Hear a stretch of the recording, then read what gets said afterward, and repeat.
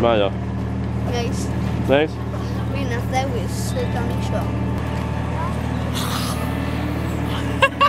Helo, enw i di Morgan Hys, a heddiw, da ni wedi dod i Food Festival Port Meirion. Da ni wedi gadael i ddim bach yn hwyr, ond da ni dal wedi gael trans i weld pethau neis a cael ein foliau. Bethau cerig a pethau mama. So, nwch chi weld earrings a pethau fel yna. Ac yn mama gennych chi necklaces a bethau. Ac os ydych chi'n dod i fama, mae gennych chi um, lost sign, gennych chi Sean Corn galwch yma.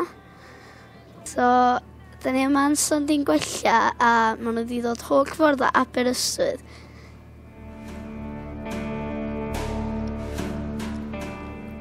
Neis. Nice. Bryn, di enw i. Ac uh, lle mae'r cig yma'n dod o? Mae'n dod o'r ffarm adre, a da ni'n mynd â nhw 12 milltir i'r llafdyn Tregaron. Ydych chi'n meddwl bod o'n bwysig i gael cig lleol?